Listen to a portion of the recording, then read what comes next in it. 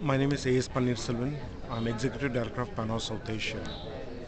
The most poignant image which remains in my mind whenever we talk about human rights is the image of Nelson Mandela. It was posters done by a local activist group. It was a time when India was talking about non-colonialization or decolonialization of Africa. It was taking up the cause of PLO.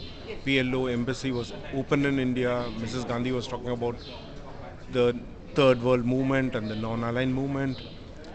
So this particular image was Nelson Mandela in a football attire, but behind bars. What did it do to us? It actually raised a fundamental question of what is human rights? Is human rights restricted only to Africa? And the, one of the slogans in this thing is there are many Mandelas everywhere.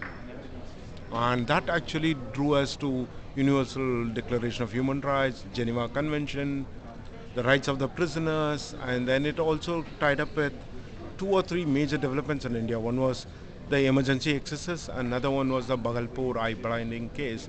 Bhagalpur is a place in Bihar where the inmates were blinded by the authorities and it created such a huge ruckus. And every person who was blinded was also called a Mandela.